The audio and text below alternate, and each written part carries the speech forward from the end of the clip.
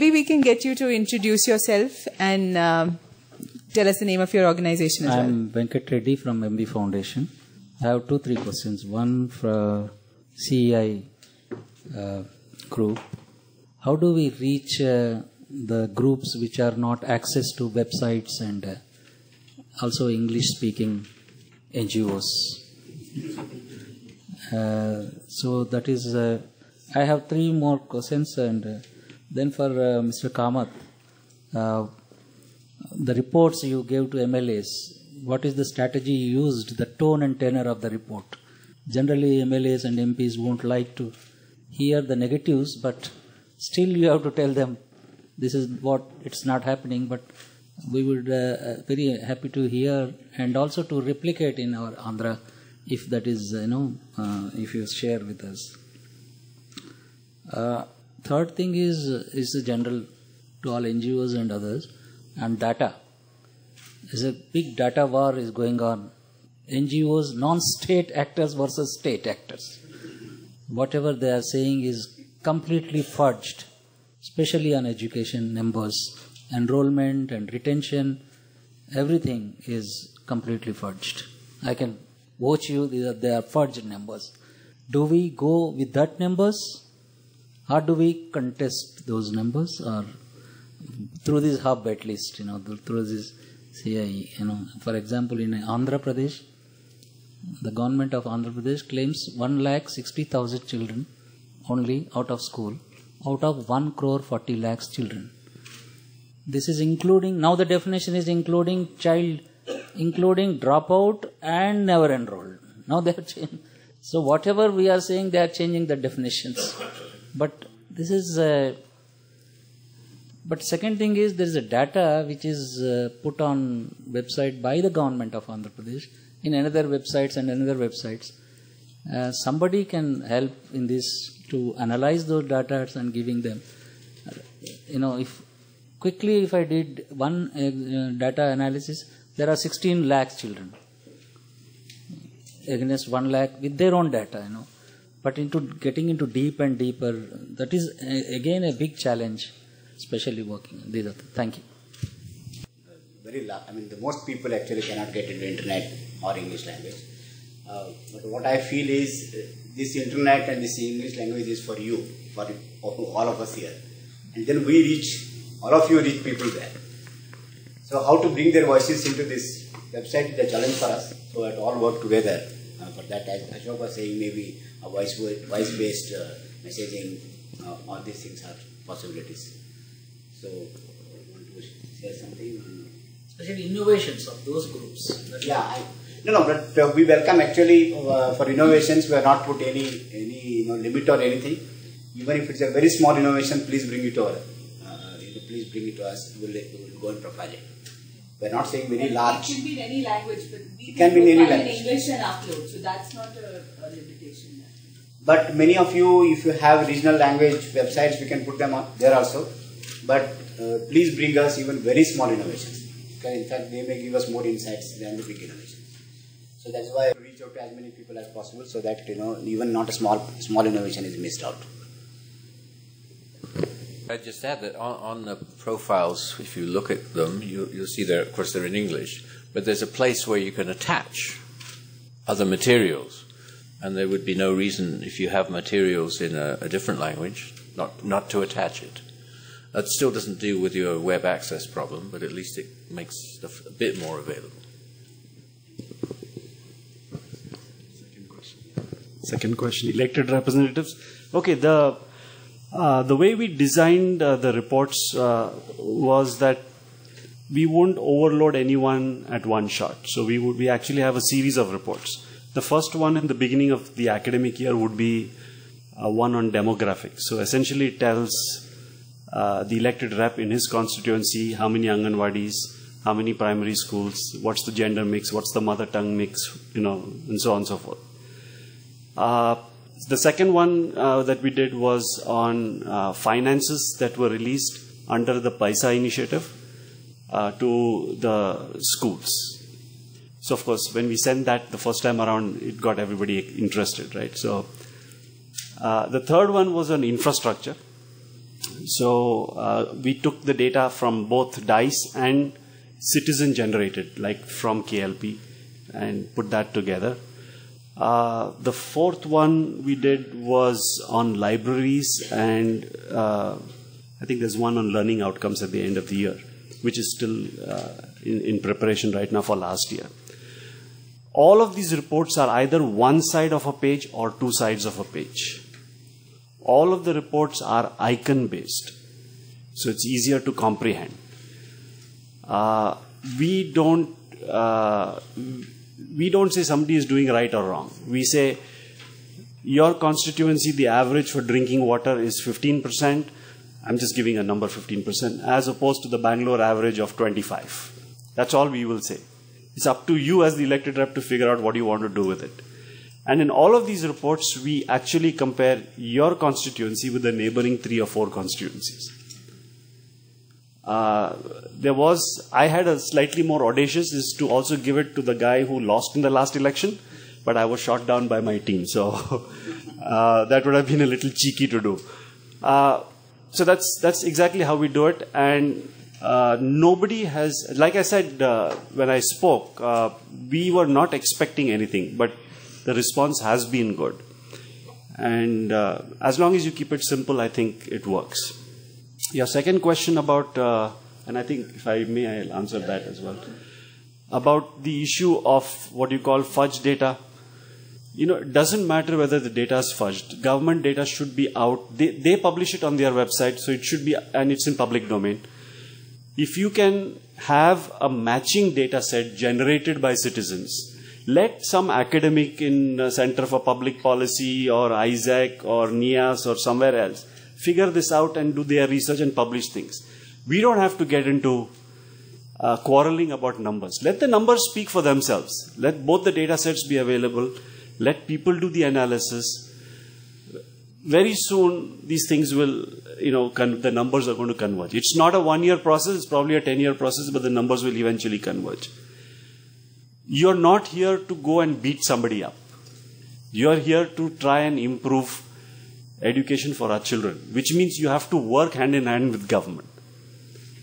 Just fighting with them is not going to generate anything for you. So let's not worry about fudged or non-fudged. Let's have, you know, comparable data sets available and let numbers speak for themselves. That's our take on this whole thing. This question is to ILFS, ma'am. Um, so the question is, um, you have a lot of methods to teach, to learn. Uh, so you use K-Yan as some technology, and you have some few kits for math, English as well. But how do you evaluate students? What is happening in the classroom? Uh, for several of our programs, uh, we uh, do a baseline study. So what we do is we look at what is the teaching learning tool that we're going to use, what is the impact that it should create, and based on that, create a baseline and an end line. So if you heard CEI also said we do some impact uh, assessments and studies. A lot of it is uh, actually done by our own team internally. A third party, a government may want to do it or whatever, but we do it for ourselves and track children. Like currently in Bihar, we're doing a spoken English and life skills program for about 36,000 students. So we do a random sampling, do a baseline, see where children are, look at our material, see what needs to be done because there are some local uh, localization that needs to be done. Based on that, we define the outcomes.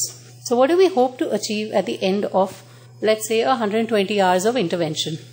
Yeah, uh, we may be right or wrong. We might, you know, achieve it faster in some places and slower in some. So we kind of course correct, if I may say, as we go along. But because the team comprises of teachers and people who've been practicing in the education space for very long, it's possible to do. There's a lot of gut that you work on also, along with the definitions that you do. So baseline, end line, and then actual honest feedback saying why things worked and why things did not work. So that in the next level of scale up, it becomes very simple. Yeah, and what works, you know, one way in one state may work differently in another. So another way a lot of governments actually tell us to do is take one of my worst states and take the best one and district, sorry, or block, and uh, you know do it there, and then you'll see the range. Yeah, but uh, I wish we had some mechanism where I could impact every child individual level. But when you have to talk about scale, then you have to kind of play that average card. Yeah, I hope that answers. This is a question of since it's the first time it's starting. I wanted to know because uh, while starting our NGO, uh, it, we made a lot of mistakes, which we then had to, you know, go through. So when I look at these, uh, when I listen to people, I hear the inspiration stories, and it makes me feel, you know, very excited that these things work. But what I would really like on the website also, what what were the pitfalls you faced? Where did you stumble? And why I'm saying this is, um, we work in sexuality education. And about five years ago, we wanted to start a peer education program in colleges. And I was trying to find some sort of um, um, similar work done. And I got one in Kenya. And they had written down some of the things, the face, the problems they faced. And I avoided those problems because I already read about them. And it was some I would have stumbled in. So since you are putting up for the first time, I would request you to ask, I mean, I want to know well whether it works to have it up, to say what were the things you couldn't do or what are the factors which, you know, blocked your work so that other people don't make that mistake. Not much to say except for that's a really fantastic idea and actually something that I've come across a few times um, in talking to programs such as yourselves who are really looking to find those lessons learned so that they can help avoid those pitfalls as they move forward developing their own programs. So I think that's a really great idea to include on the profiles.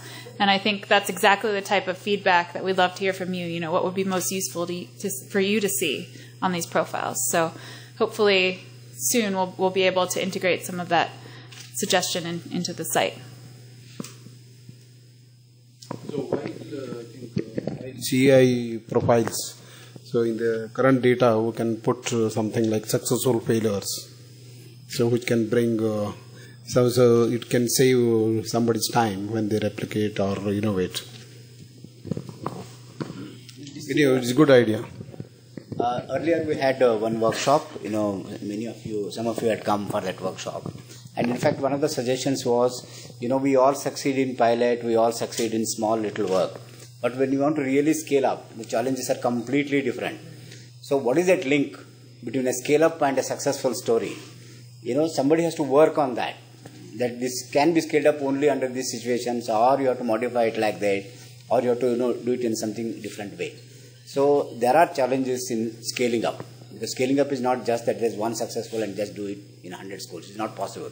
So that link has to be developed. So we have to understand that link and develop it. So that's also one of the challenges. Most of the profiles are going to be non-state players or within the state player also the profiles are going to be.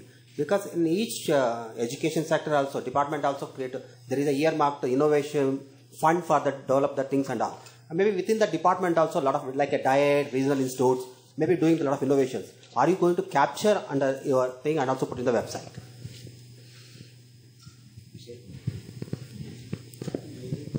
Uh, I, I think the, the the answer to that is maybe, but not not today.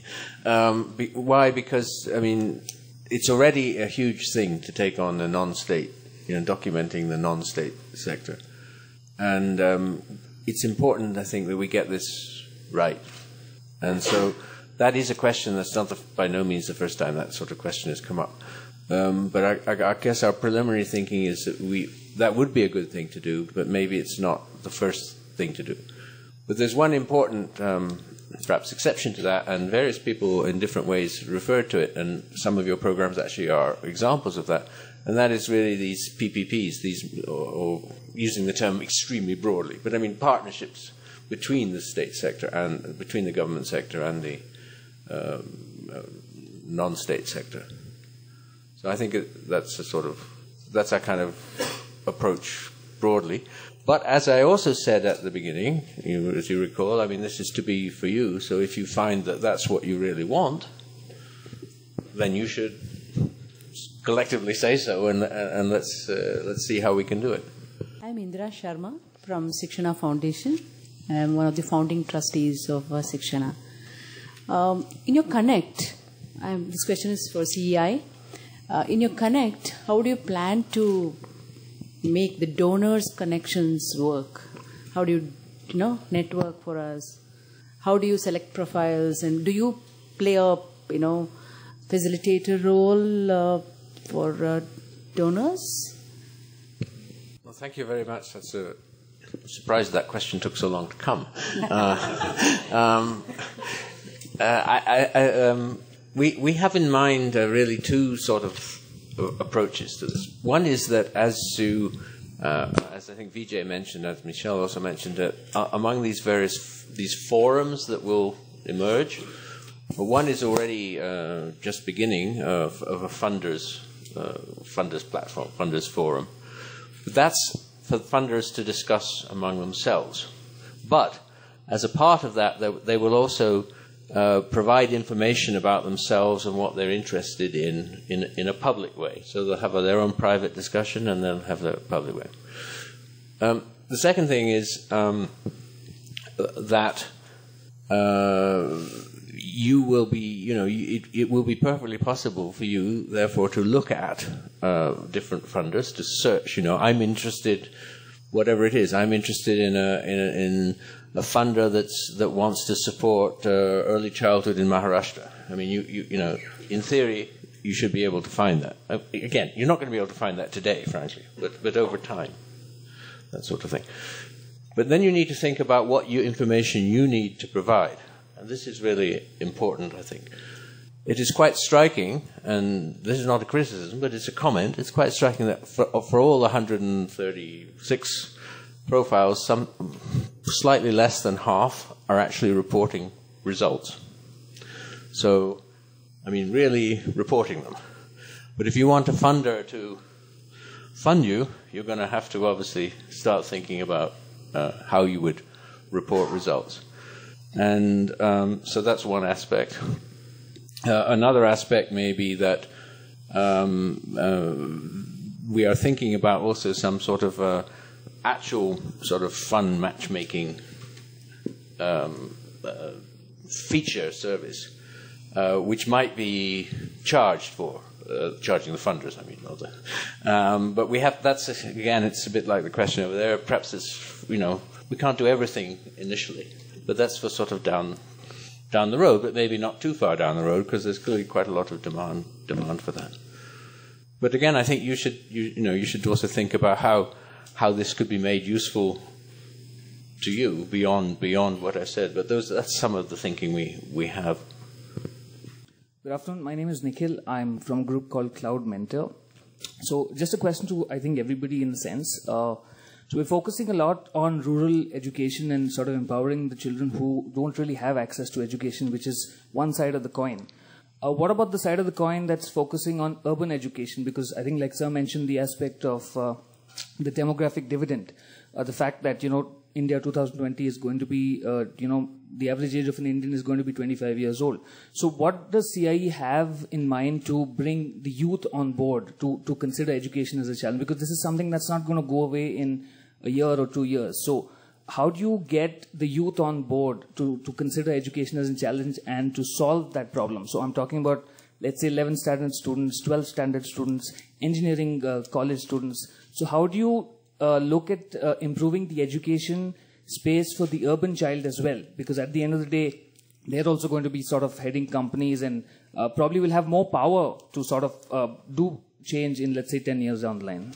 We have, uh, you know, a team called Skill for Work, and uh, you know we are not restricting it to any rural or anything. In fact, we welcome uh, both urban and rural. There's no restriction as such.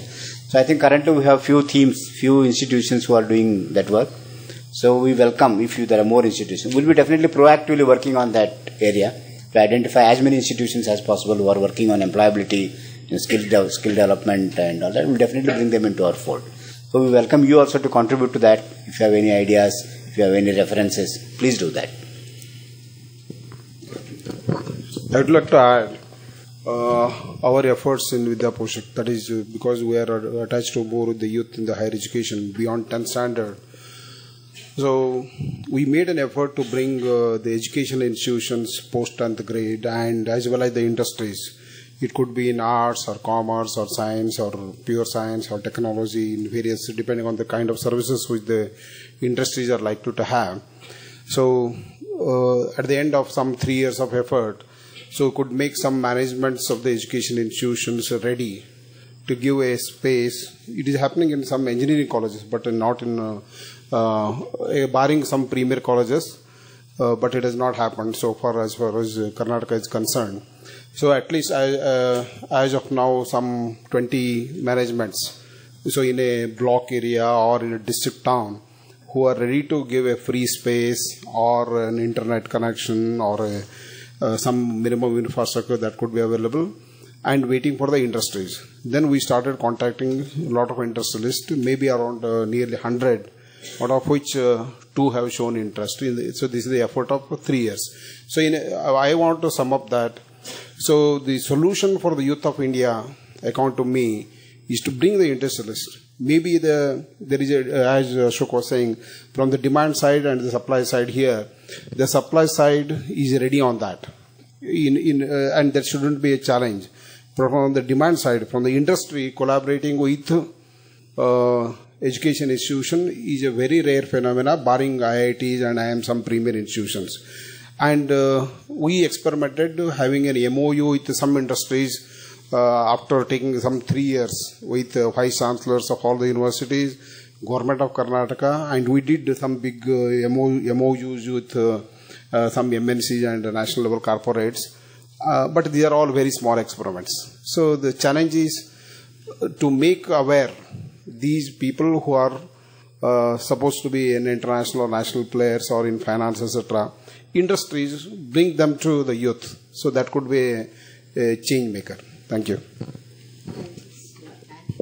What he said, there is this National Skill Development Council, NSDC. A lot of people have tied up with NSDC to offer, uh, you know, training programs. We are one of the partners. Uh, that's not my area of work, so I'll not be able to answer all the possible questions on it, so don't ask me any further. Uh, but what we do through these centers is to offer, uh, uh you know, short-term courses to help employability. Uh, that is one thing. The other area of work that we have is that the National Vocational NVQF Qualification Education Framework. That's uh, yeah that's that's being piloted. One is in Haryana, and I think one is somewhere in West Bengal. So we're a part of that also. So what both these attempt to do is to take students who are studying in school and help them, you know, add those skills, as well as those who kind of miss the bus and you know are already out of school. Either they finished tenth or they finished graduation, but the kind of graduation he spoke about, two hours in class and four hours outside, uh, and therefore do not have that competency uh, to do those kind of programs. So there's a variety of programs being offered today, uh, both free and paid, depending on you know the categories you come from, and uh, with uh, uh, with this thing that uh, there has to be placement, a short placement. which is a challenge for companies like us, but there are placement partner tie-ups and those things which are happening in the market today. So it's pretty encouraging from that sense, although the sheer numbers make it very mind-boggling as to how we're going to achieve those numbers. There's uh, one point that I want everybody to consider is that uh, here I'm not talking about uh, divide between rural and urban India, but yes, uh, there is. I have started thinking that there is India and non-India. So even if in terms of skill development programs and education, you will see they are only for India.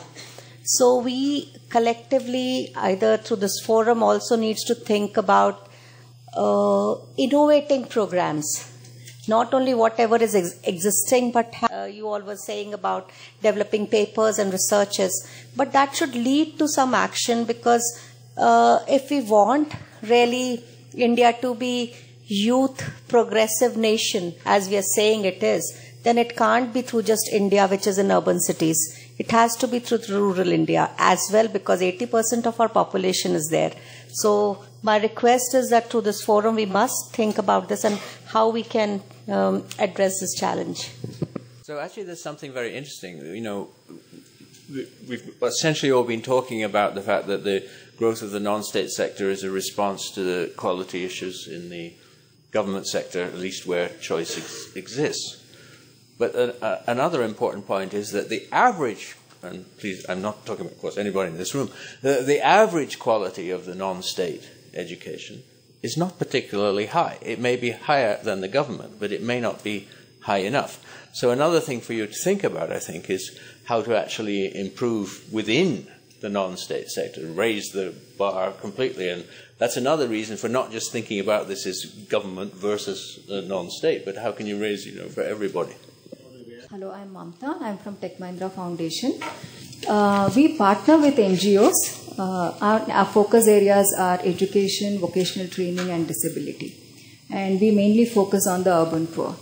And um, one of the questions that Indra raised was how do you connect with the funders and uh, the, uh, the NGOs? That was one of my questions, anyway, she's asked. Uh, what I would also like to ask is about the Education Innovator, Innovators Forum. Um, we, we see a lot of innovators here, that is ILFS, Cloud Mentors, Agastya Foundation, Akshara Foundation. Um, and we are looking at a partnership uh, with the government system. This is the PPP model.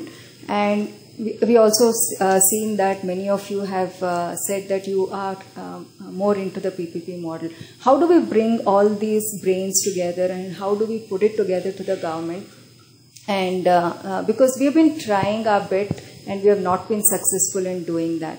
Um, not, not been successful in the sense that we have not been able to get people on board together. We have, we have seen that some of the NGOs are pretty rigid.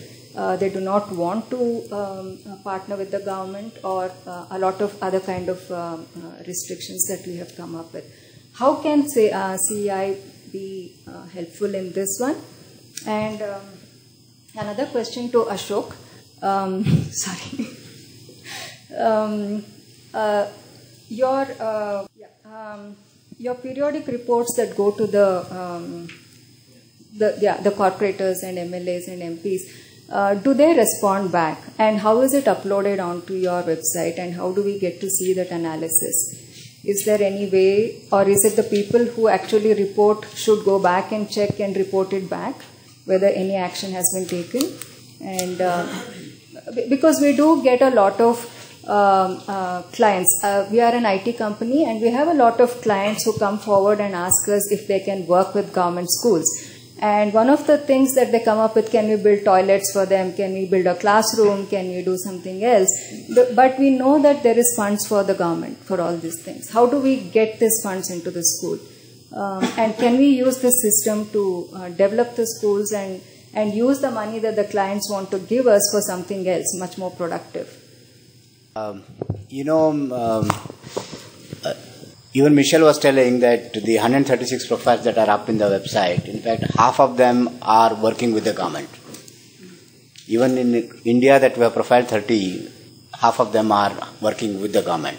So although it is a non-state actor, but the non-state actors are working with the government system. So all of us have worked with the government system and continue to work. Uh, I don't know there is any one solution for it, but sometimes you get excellent officers who are interested in this. Maybe you have to wait for that right time. Uh, okay, you'll get it, don't worry. so, who want this PPP model? You know, who want NGOs and other institutions to come and work with the system? There are some great officers. In fact, all of us have entered when there are such great officers, you know, and then maintain that relationship uh, with government. But as I also said, um, how to bring these best practices of PPP onto our website is also one of the theme areas that we are working on. You know, some state governments are very proactive, some state governments really want to work, some state governments don't want to work. But how to educate those people, you know, how to educate those governments which are not working or don't want to work, you know, by quoting them examples of other, other governments. So we have, we want to take up this task of, uh, you know, building a good, a good climate for PPPs in education. So that will take time. But as I said, always keep your eyes and ears open about officers, you know, who are who welcome this. I think in Karnataka, our minister has said, new minister has said that I welcome, you know, a lot of private people coming and working with uh, this one. So that's a good sign. So that is what is my, I don't think there is any solution for that, but that is like any market people, you know, waiting for the right moment to sell their products. We should be looking for that. We have been working with NGOs, starting from literacy missions, you know. We have been working and people have been helping us And whenever NGO came forward with an innovative plan, definitely we have supported them. For example, when I was director of primary education, Akshara Foundation came forward with reading program, Odivenar. We supported it, we saw that it was successful in Bangalore, and we, we wanted to extend it to the entire state. But there were some other problems and we did not do it. But the cards have been printed and supplied to all schools in Karnataka. So that way, and we have um, Shoda Bopanna, she joint director at DSERT. Throughout her career, whether when she was DEO or DDP, she was helping Akshara Foundation. And we are there for any good work that helps our government school children. There's nothing that uh, that stops us from working with you, or nothing should stop you all from working with us. Uh, I think um, uh, wherever there is a need for an NGO to enter the field and help us in doing our work, or we work together, uh, we welcome it. In fact, as Sir said, uh, Akshara Foundation was the first uh, NGO, big NGO, so called, you know, um, NGO to work with the government. And uh, we tried improving reading skills in the primary school, uh, the primary school children. And uh, we did a pilot project, and I was in charge of it in my area. And uh, it worked out very well, and we upscaled it. So it's not that we're not open to it. Um, one is the need, and uh, one is, um, you know, the norms and other things come into the picture. And whenever an NGO enters our school to do some good work, we find that uh, teachers, you know, uh, somewhere along the line they feel that uh, uh, their teaching hours are cut down and, you know, so many problems are there. It's not just that we don't welcome the NGO to do extra work in the school. Any work given by you all will have the right attitude and you all are more focused than our own uh, group of people. Because we have lots of things to look into, but you are more focused. Your uh, um, aim is just that. So the um, result also is just fantastic. So I would I would never come in the way of uh, working with any of you. and I would suggest uh, one uh, thing here that is um, maybe uh, donors and um, you know there are many new NGOs who want to get into the field and uh, maybe they can start with pilot projects and um, the main thing for them would be uh, to showcase some of the work of NGOs on this profile uh, to show how they entered and how they negotiated with the government and how they got into doing that. And um, you know what were the hurdles and um, in what way they were you know fulfilled what they wanted to do. It will be very educative to put such ngos success stories on this uh, site so that um, uh, you know, um, to show it's a positive thing which is happening. Fleshed out on the site and also in in person. So one of them would be, um, you know, browsing the database, seeing examples of how successful PPPs have been established um, and, and, are having impact. Another, I would say, would be using these forums on the site are focused on non-state innovations. Um, more broadly, we hope to engage the public sector. We hope to engage funders. We hope to engage all different types of stakeholders in this conversation to figure out how these innovations can be implemented in the public sector, how they can be improved, and to figure out what works and how to and how to scale that up. So the second one, right? Rain stopped play. Uh, uh, so uh, the question about elected, I hope I can cover all the things that you asked for. Uh, we put up uh, the reports both in English and in Kannada on the site. So they are available for any one of us to look at it uh, just by going onto the site. Uh, there are also equivalent reports of just published government data that's done by India Governance Research Institute. They also dissect the data by constituency, but they just do it for MLAs at this point.